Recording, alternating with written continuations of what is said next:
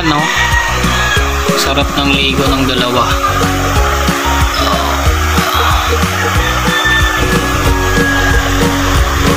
Ito maganda yung ito yung lugar namin dito. Ayan, napakagandang lugar na yan. Sa paligo dyan.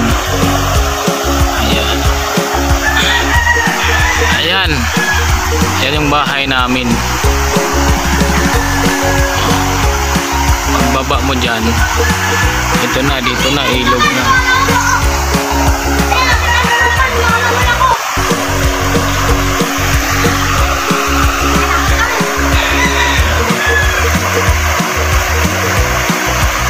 Parang mga pato.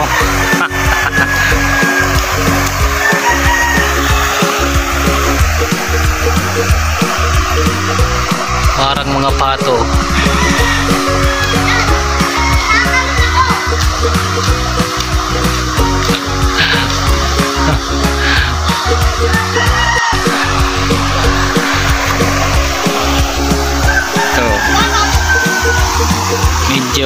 Hindi lang gaanong ma malinis. Kasi may may nagkakwari sa taas. Boom. yan.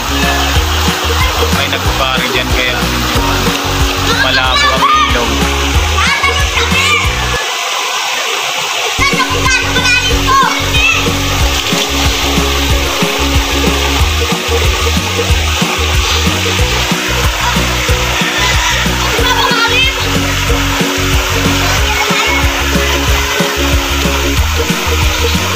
ang dalawa. Ang sarap.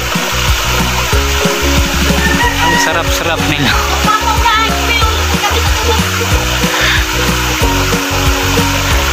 Parang mga pato.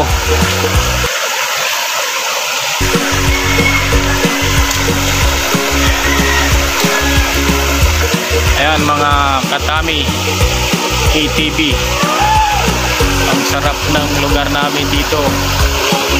Kaya gusto nyong maligo dito. Mag-text lang kayo sa akin. Ayan.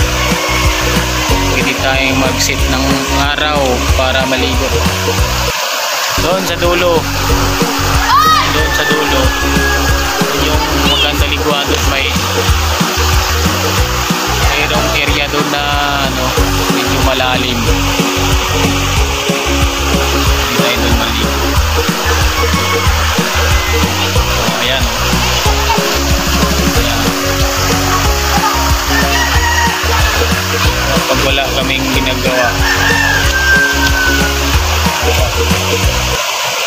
kami nagtatambay palagi. Magandang panahon. Ayan. Pwede ka rin kumuha dito ng buhangin. Libre ng buhangin dito. Kailangan siminto na lang kung gusto mong magpagawa ng bahay. Siminto na lang bibilhin mo bakal. Wala nang problema sa buhangin dalawa. Dalawang pato.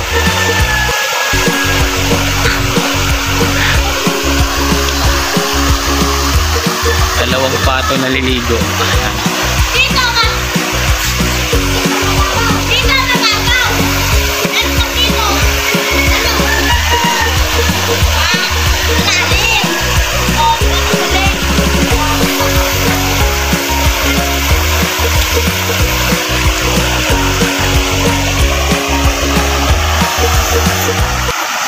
bahay namin.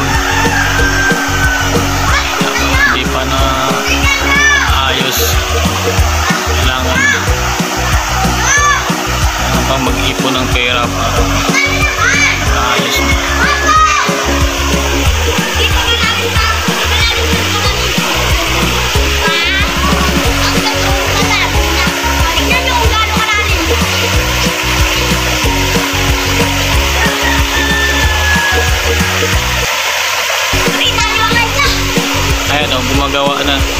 nila ng ano ng harang para medyo malalim-lalim yan Sila lang may gawa yung dalawa. Ang mga pato.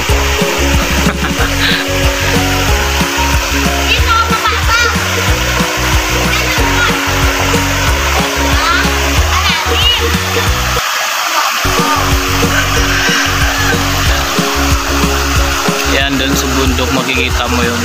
Yan yung quarry. Sa dulo, may lingguhan nandun medyo maganda.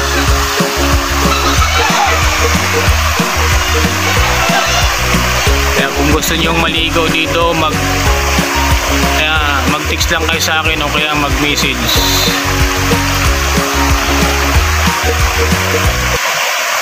May entrance fee sa akin kayo magbabayad. 50 lang per per head. Yan pambili ng ano alak tsaka pulutan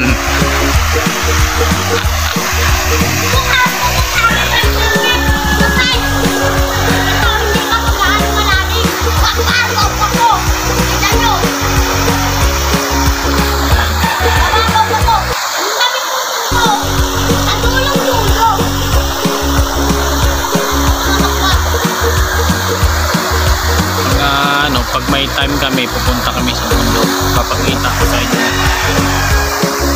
Yung lugar namin napakaganda. Ayan. Kita nyo yan. Ah doon yan sa baba doon sa baba. Dyan sa baba. Yung islang liguan dyan gambarnya keluarga Jepang